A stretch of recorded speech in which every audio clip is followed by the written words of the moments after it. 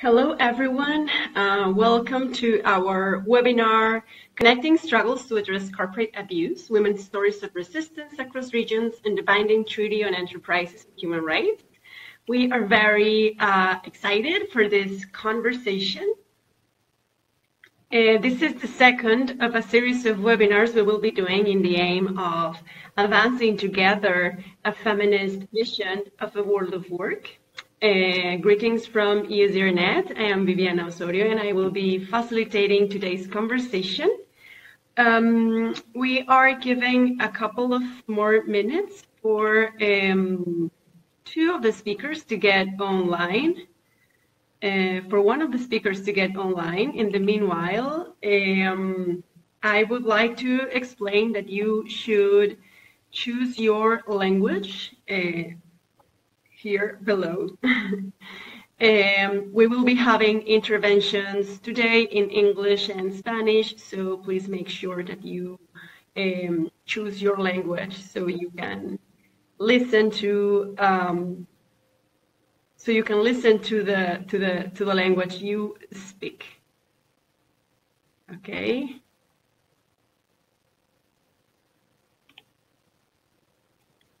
So. Um,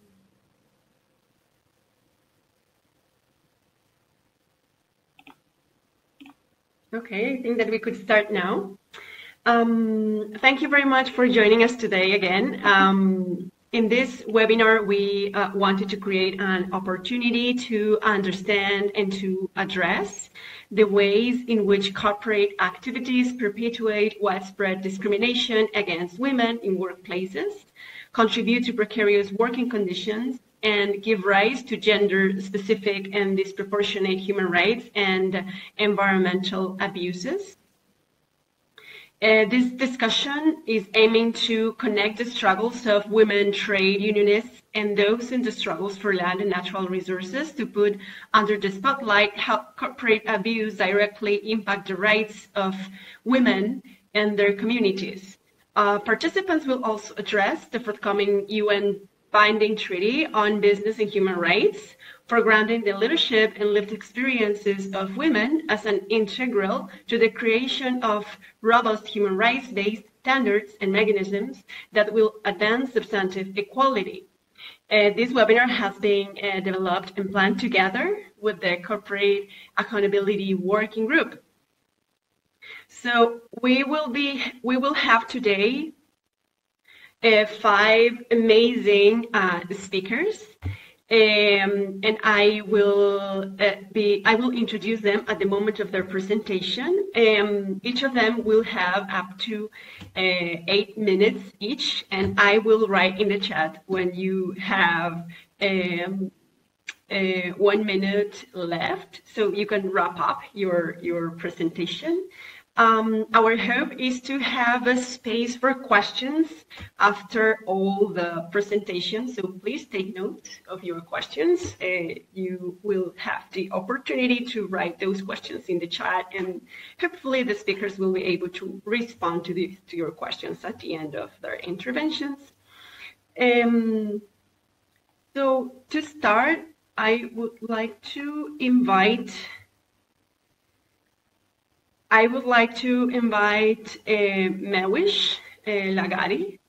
Uh, Mewish um, is part of the Fisher Folk peoples. She is representing the Pakistan Fisher Folk Forum, and she's also a very strong young women leader from the World Forum of Fisher Peoples. Um, Pakistan Fisher Folk uh, Forum uh, aims to protect the socioeconomic and political rights of indigenous fisher folk communities in Pakistan by, bring, by bringing sustainability in the usage of water resources. So with um, so Mawish, thank you very much for accepting uh, our invitation today.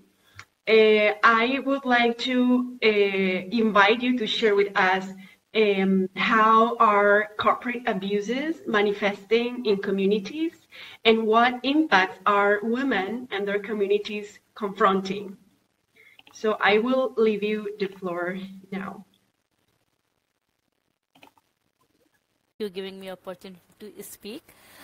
Uh, corporate capture, corporate is uh, uh, is a technique to manipulate the communities and corporate always uh, target the vulnerable community vulnerable people to to uh, to uh, to make their businesses.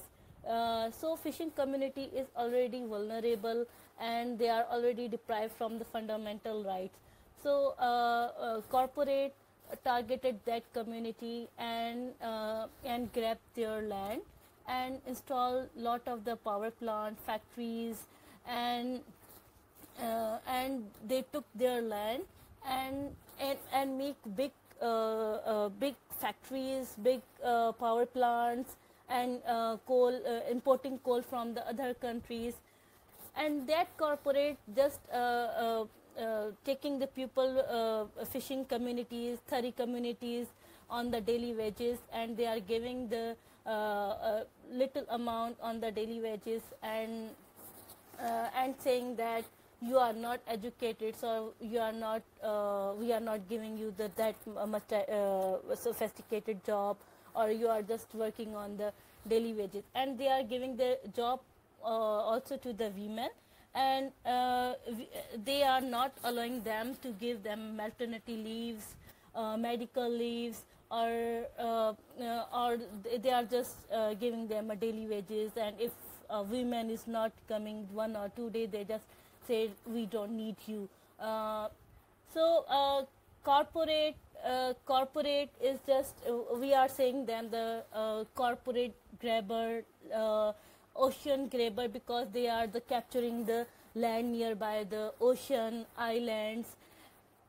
Uh, and the corporate uh, they are also uh, because uh, the uh, nearby the coastal is very easy to dump their all the waste into the sea when they are dumping the waste in uh, waste into the sea then the fishing fishing is uh, going into the deep and then their livelihood is also destroying. They can't go for the fishing and it's very difficult to go for the fishing because they don't find the fish nearby the uh, uh, nearby the coast because they are small scale fishermen. They are not uh, uh, big scale fishermen.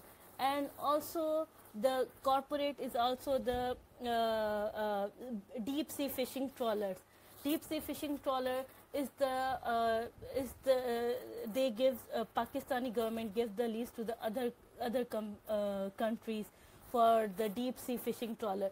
They they uh, they lease the, uh, them and they come and they just go in the deep sea and they fishing in the deep sea and they also ruin the livelihood and the condition of their fishermen is very bad they are peeling the fish, uh, peeling the crabs and uh, prawns, uh, and they are not getting the veggies.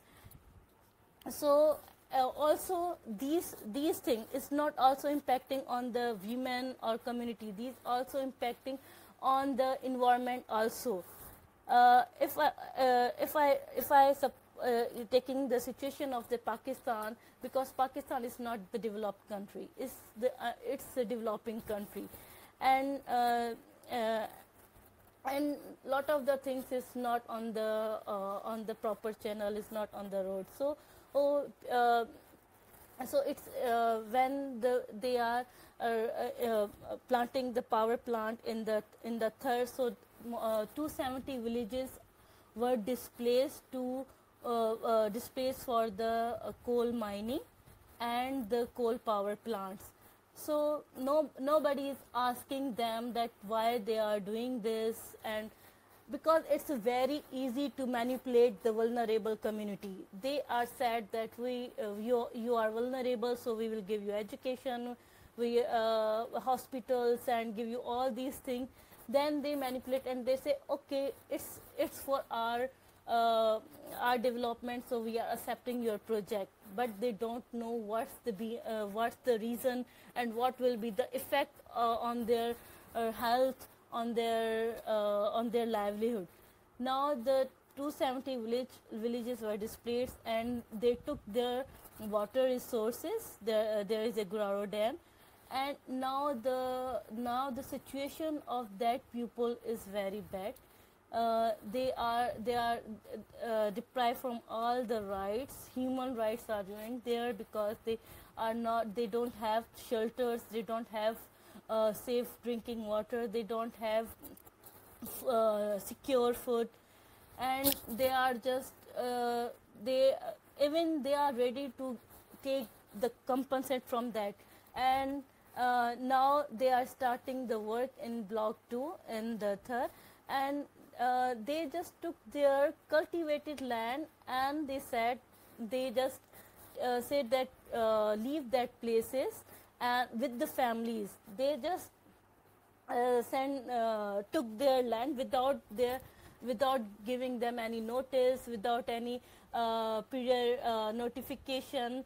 And they grabbed their land and now they are protecting protecting for their land and all these things.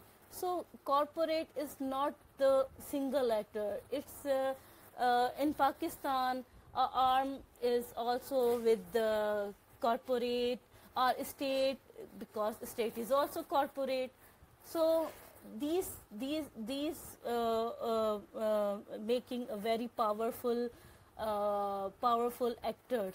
So sometimes it is very difficult to face these powerful powerful actors and how to uh, shut down these powerful uh, shut down these corporate and how to account, make them accountable that they are doing this very wrong. This is not good for the people for the communities and this uh, and their ancient rights they are destroying also their uh, ancient rights their human rights their land rights their natural resources. But they are just sake, uh, sake for the uh, profit. And uh, women uh, in pakistan women are the women uh, are also um, uh, victim of the domestic violence. And she is this she is the one she is the one who is responsible for whole, whole for whole home. And and then when she is responsible for the home and then the corporate is also uh, the uh, impacting on them so uh, in uh, in Pakistan, women are more vulnerable as compared to men. Men is also impacting on that uh, corporate, but women is women, especially fisher folk communities, because they are targeting the coastal belt and uh, taking all the land nearby the coastal because it's very easy to import, export, and uh, and uh, wasting their uh, their corporate. Uh, west into the sea so uh, for, for, for, for me uh, i want to make them accountable I, I, my advocacy my campaign so i want to make my struggle strong to make them accountable that they are doing wrong even even my state too because state is not ready to listen no uh, not uh, doing anything against these powerful actors. Armed act, uh, arm is also with uh, with this uh, involved in this corporation. So uh, in my in my in my my recommendation is that this treaty are is very very good to advocate for uh, to make them accountable and um, uh, it, we need a strong movement strong struggle to stop this corporation uh, stop this corporate abuse and also the human right. They are uh, uh, this corporate is also abusing human right as well environment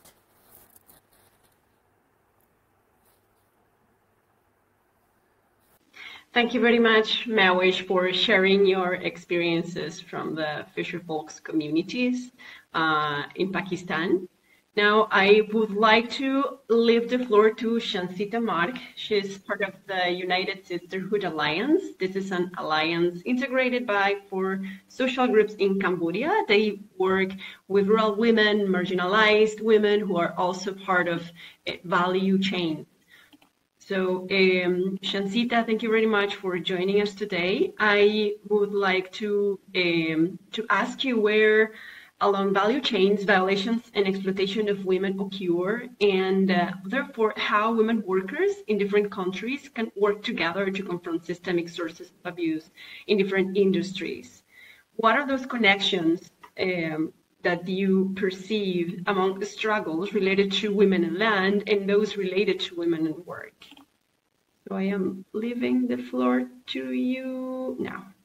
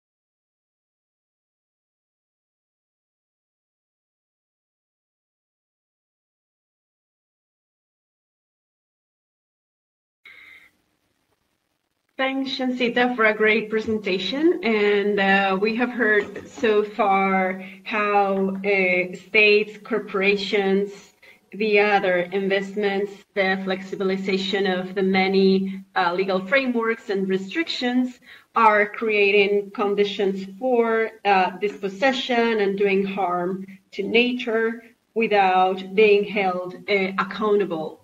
So um, before leaving the floor to Toribia, it seems that she's having a little troubles with her connection. I would like to welcome Elizabeth um, Elizabeth Kariuki, who is from the Kenya Human Rights uh, Commission. Uh, as Mewish mentioned during her intervention, um, there's a, a, UN binding treaty being um, negotiated um, that might represent a good opportunity to uh, to move forward in the aim of um, strengthening the responsibilities of the states and corporations.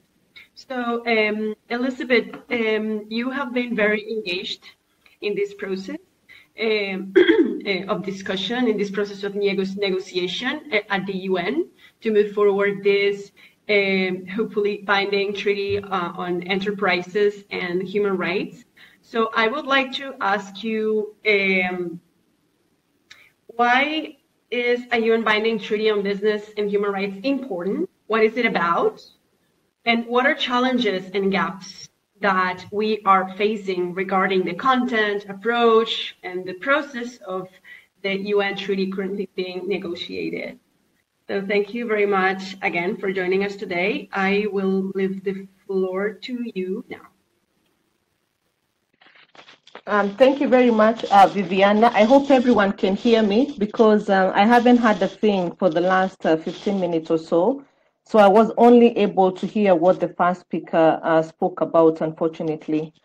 Um, just to get into the topic of uh, why why the treaty, um, the the the thrust the thrust of this treaty is to um, develop a, a, legally binding instrument that would effectively address human rights abuses by corporations, as well as enhance accountability and mechanisms for redress for those negatively impacted.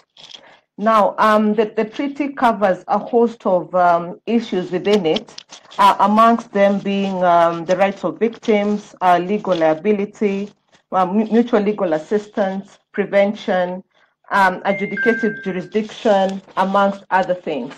Uh, but relating uh, this treaty to um, the impact on uh, the lives of women in their communities, and particularly from what I heard the first speaker speak about, and uh, using the treaty to address the vulnerabilities of women, uh, we understand that uh, the structural causes of women's economic inequality and human rights violations uh, remain largely unaddressed. And corporate abuse is a key area in the struggle to overcome systemic and structural barriers to gender, social, and economic justice. But the neoliberal uh, approach or economic model that we have uh, promises growth and progress but in the same vein, it favors huge multinational corporations and concentrates wealth in the hands of a few um, of the global elite. Uh, in this context, therefore, a feminist approach becomes uh, very critical in uh, negotiating this treaty because then it would help us challenge um, this model of neoliberalism in the push for economic and gender justice. Um, so um, just uh, having uh, taking a look at the treaty and looking at uh, probably provisions that um, that could help um, advance uh, issues that are of interest to women and girls, and particularly addressing the systemic issues that women have been suffering from. And the binding treaty has the potential to address these challenges um, that contribute to widening social inequalities and massive extraction and exploitation of natural resources through the regulation of transnational corporations and other um, business enterprises, thus ending decades of corporate impunity and also ensuring access to justice for the communities affected. So I would first like uh, to highlight a few issues in which um, gender was addressed by the draft um, that we had last year, which we call the zero draft, and uh, I'd like to speak about two instances. Um, if you look at Article 9 of the Zero Draft, uh, which speaks about um, prevention, it highlighted the need to carry out meaningful consultations which affect groups living which affect groups, giving special attention to those facing heightened risk of violations. And in this instance, um, it included women amongst those people, th- those groups that um, um, suffer those kind of risks. And then Article 15 also provided that state parties shall address specific impacts of business activities while giving special attention to those facing heightened risks of violation of human rights within the context of business activities and it says uh, such as women. The text also included a provision on business activities in conflict affected areas and mentioned special attention to both gender based and sexual um, uh, violence. But uh, I would like to ask to turn our attention now to the draft that we are currently discussing, which um, I'll call the July draft for lack of a better term. And uh, right from the preamble, um, uh, it recognizes the right of every person to have effective and equal access to justice and remedy. So that um, provision there of equal access to justice and remedy, of course, um, means all gender and uh, all vulnerable groups, and that thus is a good thing for for for, for women. And then it also recognizes the distinctive and disproportionate impact certain business related human rights abuses on women and girls, children, indigenous people, as well as persons with disability, migrants, and refugees have. So you will find that provision um, in the preamble of the, of the July draft.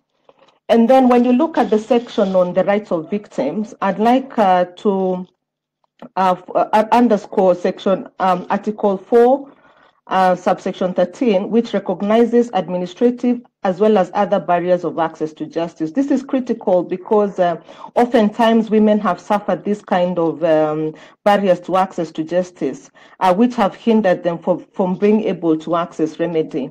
So this article states that state parties shall assist victims in overcoming such barriers, including through waiving costs where needed State parties shall not require victims to provide a warranty as a condition for commencing proceedings. And I think that is very uh, crucial, particularly uh, with respect to women. And then Article 4, um, Article 14, which speaks about uh, the rights of human rights defenders, Again, it provides that state parties shall take adequate and effective measures to recognize, protect, and promote all the rights recognized in this instrument to persons, groups, and orientations that promote and protect and defend the human rights and the environment. This is also very important because um, in our work, we all know that uh, women human rights defenders particularly face a lot of challenges, uh, given the fact that, um, you know, they already uh, suffer a lot of challenges being women, and then being in the space of uh, defending human rights exposes them to many more um, challenges and violations. So it is a good thing that that article provides us much. And then when we go to the article on um, prevention, Article 5, uh, 3b6 to elaborate what uh, human rights due diligence is about, and particularly um, mentions uh, women and uh, situates them uh, within the process of human rights due diligence. And it says that uh, carrying out meaningful consultations with groups whose human rights can potentially be affected by the business activities and with other relevant stakeholders through appropriate procedures, including through their representative institutions, while giving special attention to those facing heightened risks. And then again, it recognizes women, children, and persons with disabilities as people that uh, particularly suffer uh, heightened risks, and therefore that human rights due diligence processes should be very sensitive to the needs of these kind of uh, groups of people. And then um, the, the, the, the, July draft also creates an international fund for victims. And um, this fund is supposed to provide legal and financial aid to victims but uh, it does not uh, give a commencement date of when um, this fund should be created by. So in terms of the challenges, because I had also been um, asked um, to speak about the challenges that this process has had, um, of course, um, feminists have had a big problem with women being referred to as uh, vulnerable groups, as opposed to looking at uh, the systemic issues that uh, and the structural issues that have led women to being in the positions that they have been uh, of dejection. And therefore, um, one of the things that um, feminists have been uh, advancing is that uh, gender issues need to be looked at very broadly, and they need not be um, looked act in terms of men and women because uh, that then um, loses sensitivity for LGBT persons. So the, the, the gender then needs to be very broad and it needs to look at uh, the, the, the, entirety of um, the, the human race. And then the other challenge there has been has been the corporate capture of the process. Um, if you look at uh, the four sessions that you have been through, um, the, the, you can already see that um, the co corporations have a very strong hold on the process. Uh, whereas, uh, you know, uh, there's a very huge representation of corporations. There's a very, very lean uh, representation of civil society organizations.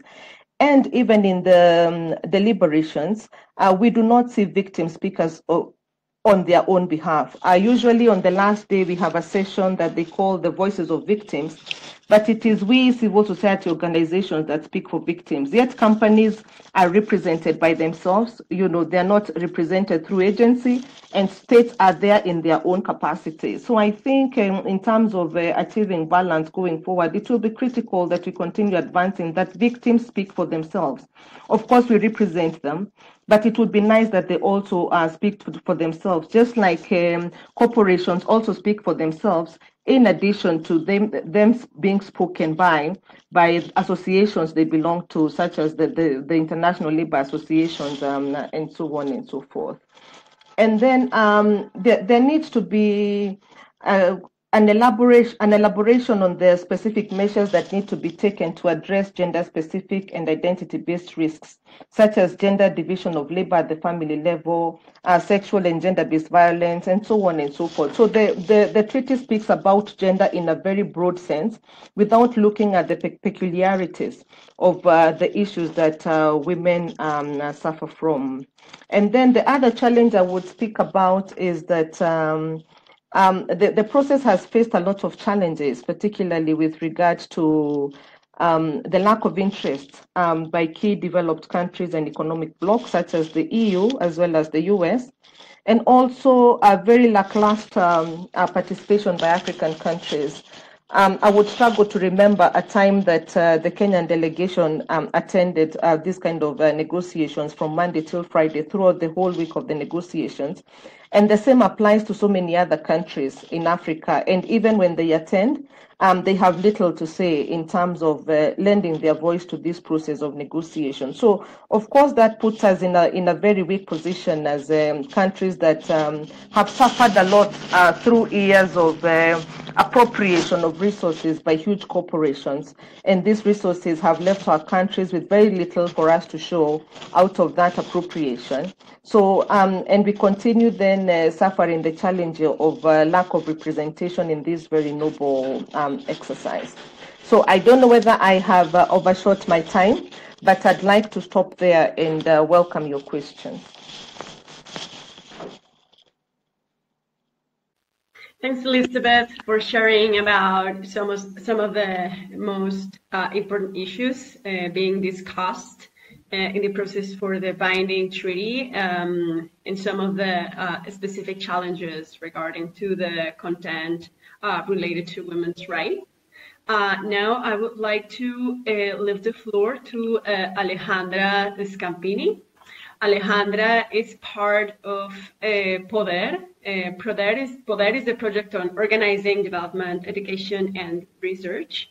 And um, uh, the mission of Poder is improve corporate transparency and accountability in Latin America and to strengthen civil society stakeholders of corporations as long-term accountability warrantors. So, uh, Alejandra, thank you very much for joining us today. Um, I would like to invite you to share with us what are those key issues particularly relevant for women so far included in the draft? What are those demands being elevated in this process uh, regarding to women's rights? And how a binding treaty might positively impact women's lives and their communities?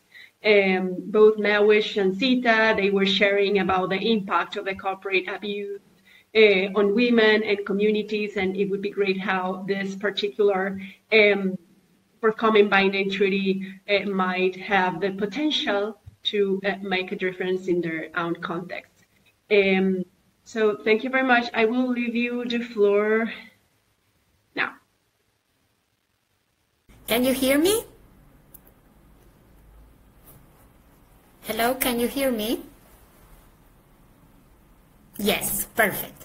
So I wanted to start um, by sharing um, a video. I don't know if I can do that or if anyone can help me. I just put on the on the chat also the link.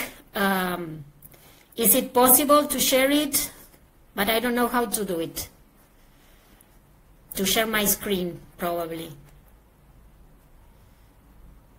Do you know how?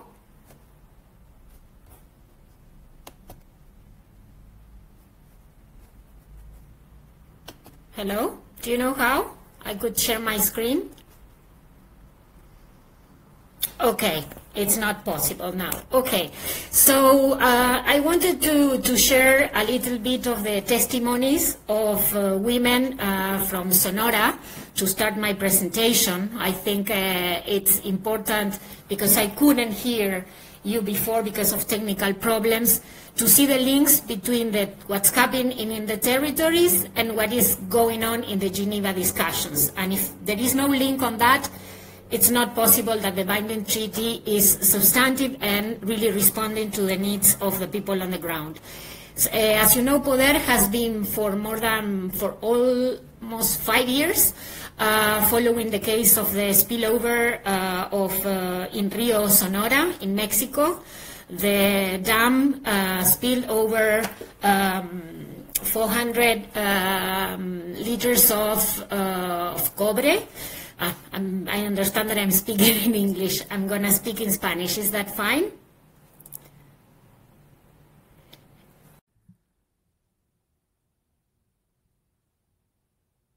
El derrame del, del río Sonora. Eh, there was a spillover in the Sonora River in Mexico, and it had an impact on over 300,000 persons in the community. It took place Three years ago, the communities still are seeking for justice and reparations because there were health damages, their livelihood and sustainability was also affected, and they have not been able to be engaged in the solutions. And Grupo Mexico is the company that caused this spillover. And there are plenty of stories like this throughout the region. We recently heard about an advocate in Guatemala. She was an environmentalist. She was murdered because she had filed a complaint for corruption and she was gaining leadership throughout the community. She was reforesting in communities as well. I recently was part of the fourth regional consultation on human rights where over 300 representatives of communities and indigenous communities were claiming and they were calling for an open consultation process. As you will see, this is not a part of the binding treaty. I just wanted to let you know that this is the real reason why we need a binding treaty. Around these stories, we have defendants, we have advocates, we have, there's violence, and there are women claiming for justice and they have not had access uh, to justice. There are, uh, haven't been any reparations. And this is why all these stories are at the core of the discussion for a binding treaty. When feminists get together around a feminist group for a binding treaty, or when we unite our voices in an alliance for the treaty, or when we unite our voices to dismantle corporate powers, these are the topics we engage in. Advocates, indigenous peoples, and uh, free consent, you, you know, con- informed consent as well, privacy for human rights advocates, respect for territories, for consultation, free informed consultation. Participants and engagement must be significant, access to justice, prevention, And of course, we also want it to be reflected throughout the entire binding treaty, and we do not just want to add women up and that let's mix them and put them together and that's about it. No. As part of this discussion, we wonder, are there human rights violations? Well, of course. And one of the challenges, as the previous speaker was saying, is that as part of international law, the concept of transnational companies does not exist. They are, they, there's nothing that forces them to provide reparations. And there's nothing talking about the rights they are infringing, access to justice, access to natural resources, free association, mental health integrated health, the right to a decent workplace. Therefore, all of these rights need to be expressed. And who are the infringers? Who violates the human rights? Transnational companies, state-owned companies, and states. Who are the victims? Well, as some of us say, let me not say the word victim, but who are the targets? Who are being targeted by these companies? mostly women. If we think about the working environment, they uh, work in, precary, precarious jobs. There's labor abuse. They're uh, forced shifts, and they are displaced from their territories as well sometimes. So there's a series of evidences led to these spaces. So we're not only talking about victims, we're not only talking about access to justice and reparation, but remember, there's also evidence that throughout the global production chain, if we trace it, there are different moments in which human rights and all sorts of rights are violated. And we must be strong in claiming that the economic stakeholders should uh, be disclosed because many of the companies acting in our territories have their headquarters elsewhere. This is why our challenge is to incorporate extraterritorial extraterritoriality and multinational companies should be held accountable, although their headquarters may not be located at the country in which they're operating. The UN binding treaty is a historical treaty. It's a one-time event because it's the first time we are finding out a way to hold transnational companies accountable. Since it's the first time, it includes new jurisdiction, new jurisprudence in Geneva, where they're not used to hearing about social, cultural, and human rights. And the other stakeholders are not necessarily the same ones we meet at a national or regional level or in New York to talk about reproductive and sexual rights or the Declaration on Indigenous Peoples or to talk about the violence in the workplace suggested by the World Labor Organization. This is why feminists are uh, trying to educate the official delegates and our friends, our peers in activism as well, because this must be encompassed as part of women's rights.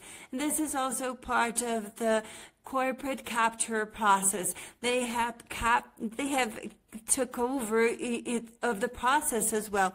And we must all be working together because private stakeholders are taking the seat of the true protagonists of these discussions, women. The UN just subscribed a partnership agreement with the World Economic Forum. So, now we know that the private sector has an instrument to have a more direct in, say in development, and we can keep on advancing the private sector and the corporate sector that is a key of economic growth and empower citizenship.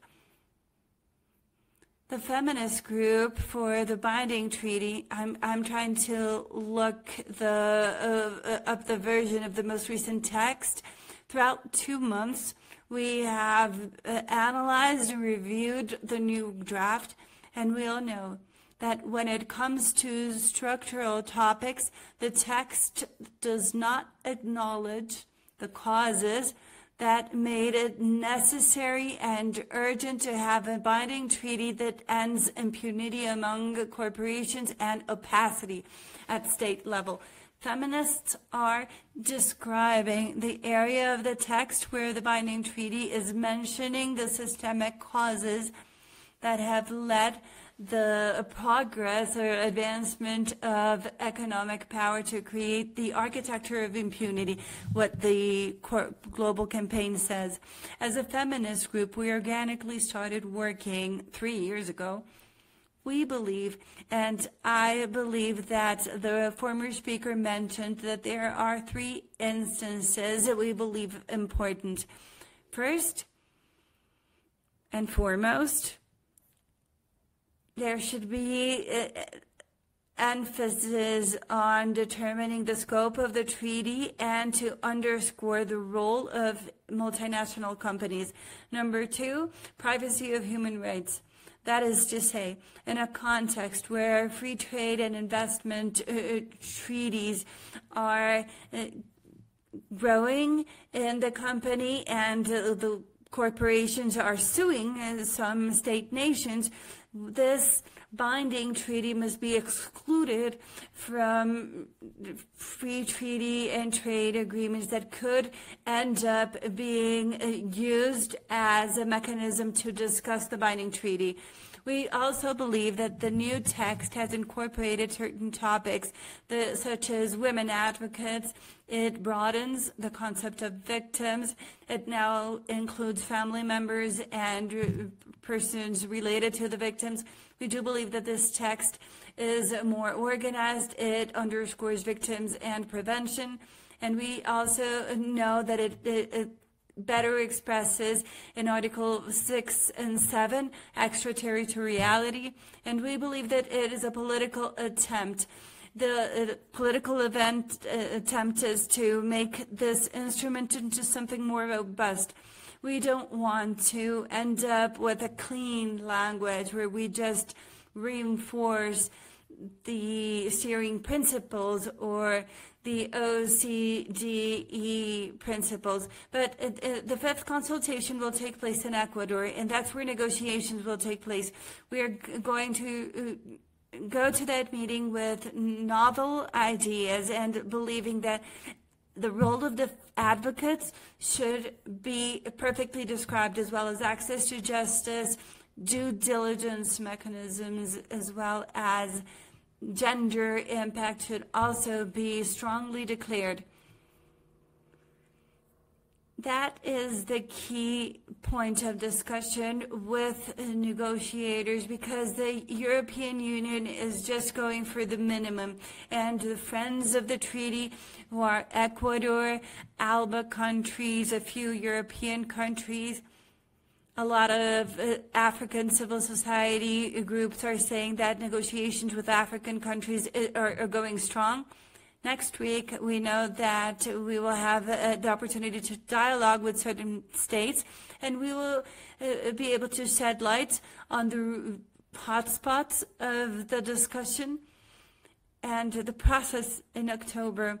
We really wanted to become a space where feminists and women advocates and women involved in these negotiations may have an active engagement, active role.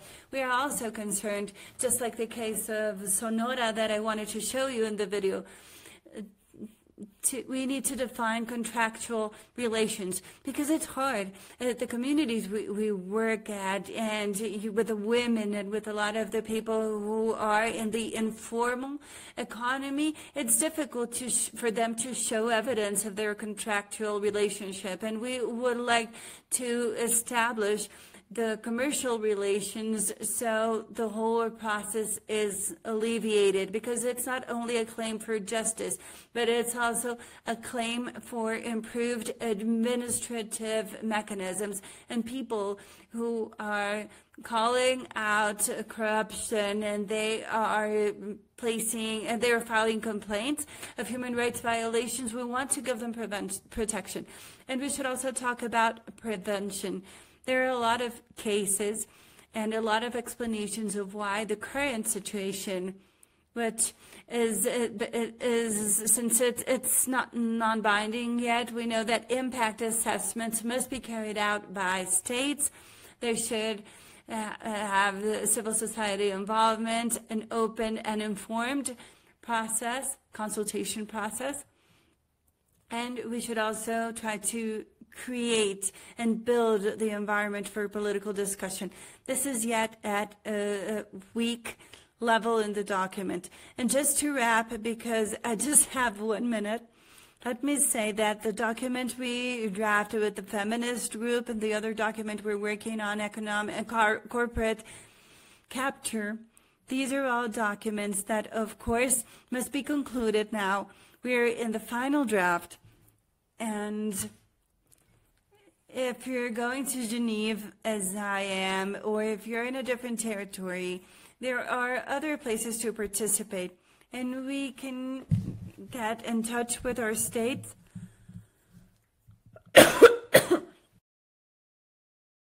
we should send technical messages to the civil society. And finally, The binding treaty is yet another instrument.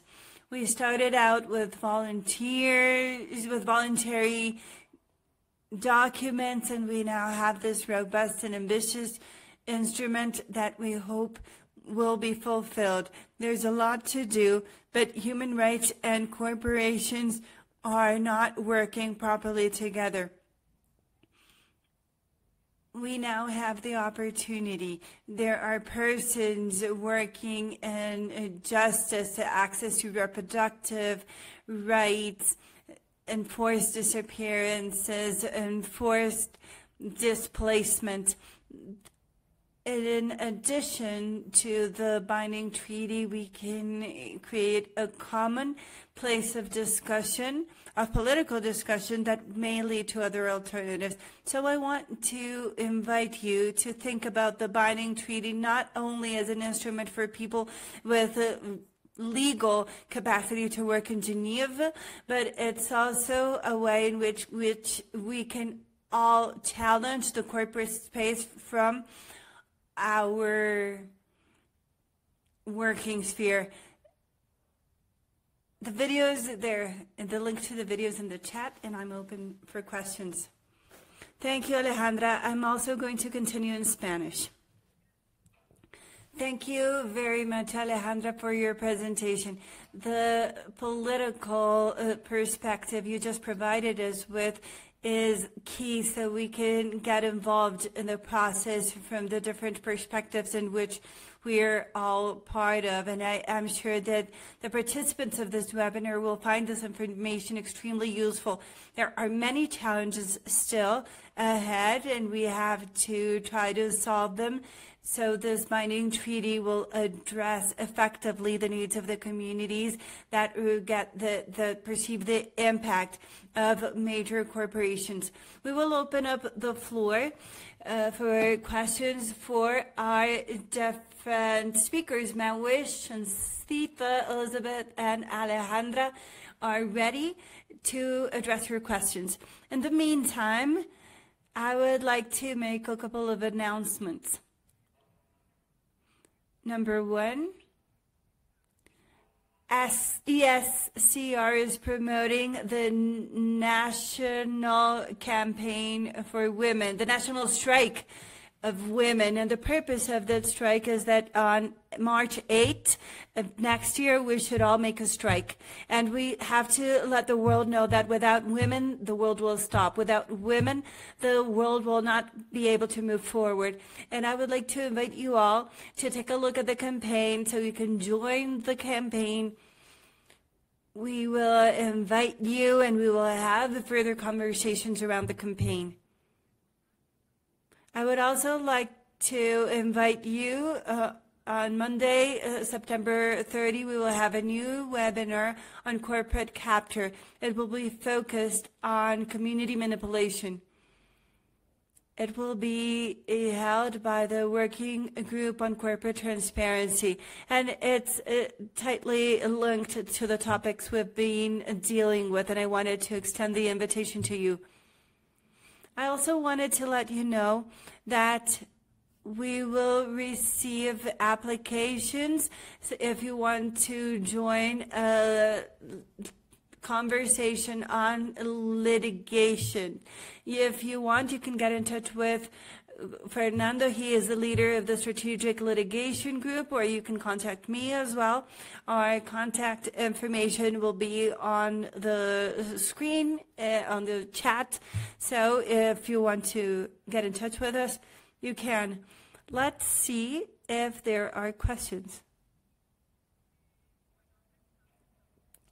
Another question is if this uh, webinar's video will be disseminated. Yes, it will be available in four languages because we have simultaneous interpretation into English, Spanish, Arabic, and French and you will get the video. You can use it as a teaching tool within your organizations, without, within your movement, so you can discuss it in your own movements and have further conversations on these topics. Let's see, there's a question from Christine. She's asking, she says, as we know uh, that traditional knowledge is an important tool in environmental conservation and that it encourages the equitable sharing of benefits arising from the use of genetic resources. The interaction between traditional knowledge and practice has been eroded by corporate capture, by eviction of the communities, uh, displacement of communities, and disconnection with their ancestral lands. Is there anybody who would like to talk about the interaction between traditional knowledge and practice and the treaty? Is there any speaker who would like to address this topic?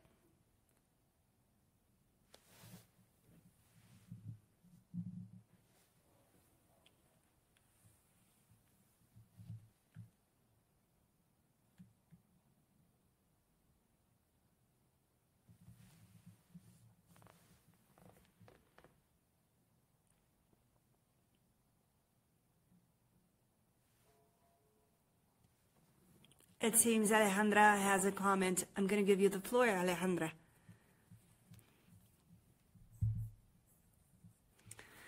I don't know if this question has a, a, direct link to, to knowledge, but let me say that although the text has been uh, drafted and reviewed. And of course, we talked about the importance of indigenous communities, the importance of ancestral and traditional knowledge, as well as the principle in the Indigenous Peoples Declaration about free and informed consent. This is not reflected in the revised text. It is a gap and I do believe that it has to do with the fact that the presence of indigenous communities in Geneva is not as strong because of costs and the difficulties of translating, you know, of translating the experience of one territory to a discussion led in Geneva.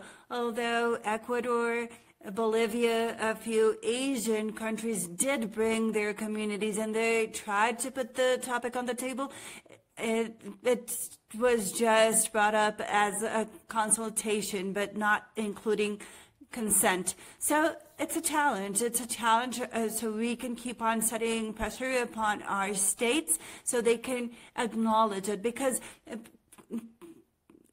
priority is given to knowledge, incorporating discussions about technology, AI, electronic platforms. So it seems it's one or the other, you know, or that the, the new way of thinking and conceiving the world is the only way to go. And there's strong contradiction and dissociation between knowledge and diversity.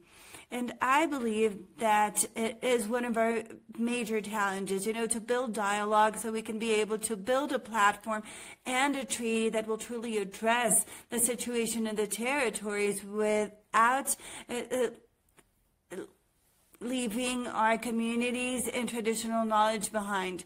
Patents is also a strong issue. Seeds, biodiversity. This is left out of the discussion in a raw way. Of course, at the United Nations level, it, these topics are dealt with. There is a conversation on biodiversity, but it doesn't have anything to do with what's happening in Geneva. And, you know, the discussions on the binding treaty should, in Geneva, should include this topic. Like, for instance, I'm wearing this uh, t-shirt and it says, Patents kill. There's another group who's introducing the whole topic about drugs, generics, protection of seeds and biodiversity. We must all remember that this is an important topic, especially for companies who are even acquiring or purchasing traditional knowledge. So you might, I invite you to read the document so you can give us ideas on which human rights mechanisms can be used, what articles of which conventions or which covenants that can be used, because it's the only way we can show them, because the dialogue is now a more technical one, and we have to show them that this is all protected under the human rights mechanism, and we should all get politically activated in this topic. I fully agree. Thank you, Alejandra. Elizabeth would also like to answer those questions, so I'm going to give her the floor. Thank you very much, Viviana. I'd like to agree with what Alejandra has just said. Um, this is a matter that uh, has been very close to the hearts of indigenous people but one that has not gotten uh, the clout or the following um, uh, in the negotiations. And um, it's really unfortunate because uh, our domestic laws um, are quite deficient, even in terms of dealing with tangible assets, particularly when you look at uh, compensation for communities uh, living in, uh, you know, areas rich in natural resources such as minerals, oil and gas, etc. Even for tangible assets such as land, uh, physical structures such as houses and, and other structures, trees and crops, etc., communities still have challenges about uh, ha- having a proper legal framework that adequately compensates them for this. So, for, for an intangible asset such as uh, traditional knowledge, it becomes even far much more difficult. So, oftentimes we are finding that uh, communities and particularly indigenous peoples have no protections under domestic law for these kind of rights that they have uh, on their traditional knowledge. And um, you know the gains that they have had out of uh, uh, you know either being able to collect uh, or to enhance their economic well-being as a result of that uh, particular traditional knowledge. So, so it is uh, quite a shame that uh, this still is not a negotiate is, is not uh, an issue on the table. But um, probably it will be a good thing that uh, for you know organizations that are working with indigenous peoples to come out much more strongly on this particular matter. Gracias, Elizabeth. Bueno, parece que ya el tiempo Thank you, Elizabeth. And I think we're running out of time.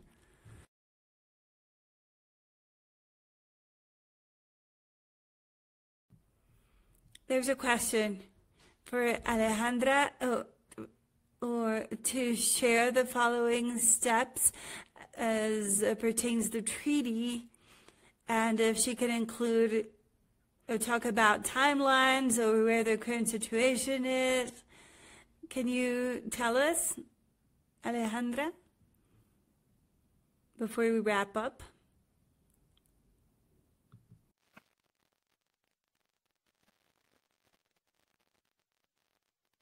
Okay. There you go. I apologize if I'm the big talker here. When it comes to the feminist group, let me tell you that we're about to finish the document. Uh, I think we, we will disseminate it uh, next week. Mona or Viviana will send you the document so you can give us your recommendations. And the week uh, prior, the weekend prior to the start of the negotiations, uh, we, we, will get together. So we will meet in Geneva. Uh, on October 14. We will have a strategic meeting on October 11. The campaign to dismantle corporate power will meet up on October 12 with different actions held in and outside of Geneva with different protests and different people. And we will also have a panel in Geneva. We hope we can uh, forward messages. We have our Facebook page and a hashtag. You know, Mona and Viviana can forward you this information. And in the strategic meeting, we also expect to create the steps after Geneva, you know, so we can all follow the discussion to include, so to find a way to challenge corporate power. The feminist group is an open group. If there are more groups who want to join us, of course, there is a minimum uh, principles, okay? You, you have to follow certain codes and you have to respect certain codes, but it's an open group. If you want to join, it's the feminist group for the binding treaty. Mona and Viviana can send you information about us as well. Thank you, Alejandra. Yes, indeed. We will share more information with you about this process. I wanted to thank you. I wanted to thank today's speakers. I wanted to thank everybody who joined us, every uh, member of the network. I want to thank the participants and the interpreters. And I also want to invite you to our next webinar on social protection systems, access to free information. We will have this webinar the last week of October, and we will send you further information the next weeks. Thank you very much, everybody, for your engagement. We'll be in touch.